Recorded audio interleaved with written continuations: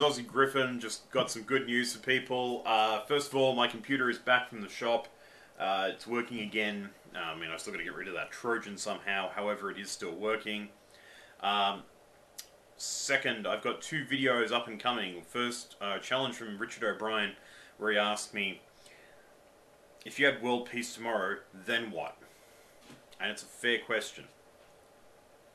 So, the uh, second thing is I've got another video coming coming up that I want to do, uh, and you may well see the first ever edited Aussie Griffin video covered under fair use with me analysing the Romance Without Regrets uh, spiel done by a chastity oriented educator. I say chastity oriented because he's not an abstinence only guy that I know of, and I can almost respect that.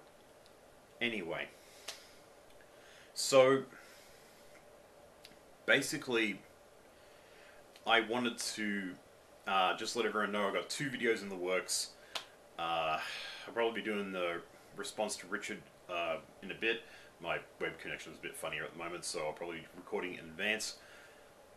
And as far as the second one goes, I am really going to pull out all the stops on this one. I am going to get all the help I can get and all of the advice I can get and the techniques. And like I said, you'll probably see the first ever edited video doing that. And I am just gonna run with this. Okay, I'm just gonna blow this into the stratosphere uh, because I want to really, really, really show what these guys are about. Okay, and it's not to be pretty.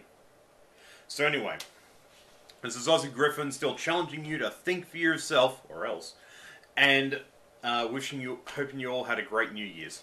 Cheers.